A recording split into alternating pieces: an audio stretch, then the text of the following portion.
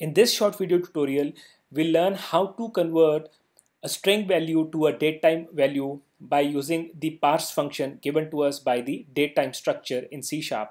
In one of the previous videos, we understood how to convert a string to a datetime by using the toDateTime function which we get from the convert class in C Sharp.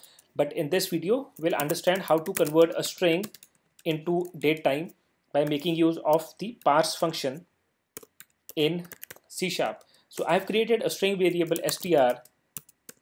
I've created a string variable str and I have given it a date value in double quotes, which means it's a string. So the date time structure in C sharp, if you put the dot operator after date time, you will notice that it gives us a function by the name parse. So if you give a string value as an argument or as an input to the parse function, it will convert it into a date time, a, date and time value, and it will store it in the date time variable. Let's run this program and see if we get the correct output with the code that we have written. So as of now, str has the date value in double quotes, which means it's a string, and the variable dt has uh, the, the default date value which means that no date has been given to this variable as of now.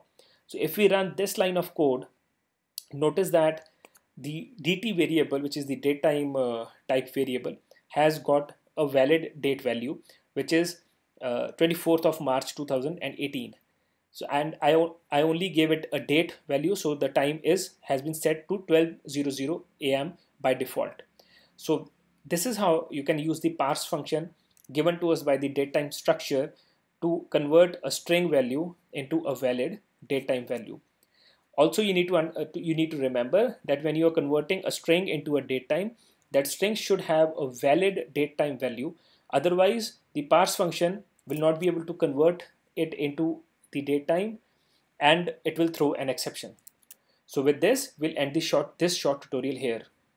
For more free C learning content, please visit openeschool.com slash learn C Sharp.